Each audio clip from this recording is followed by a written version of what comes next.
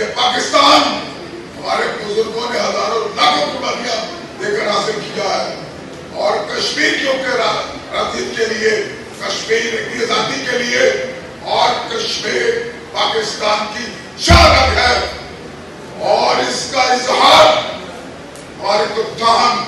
عمران خان، وزیر اعظم پاکستان نے جو مدد کر دیا، وہ پاکستان کی بہتر سالہ تاریخ کسی وزیر اعظم کو توفیق نہیں ہوئی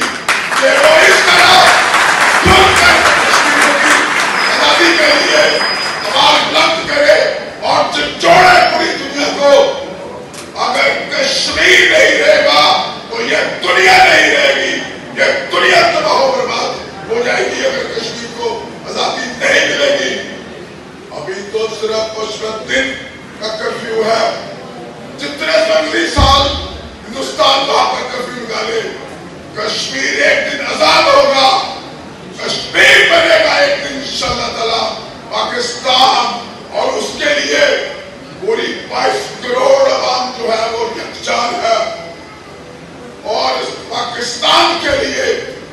ہر ہمارا بچہ، ہر نوجوان، ہر ہمارا بزرگ، ہر وقت ہر لمحہ، ہر قسم کی قربانی دینے کے لیے تیار کھڑا ہے۔ پاکستان کی طرف جو we belly oxen.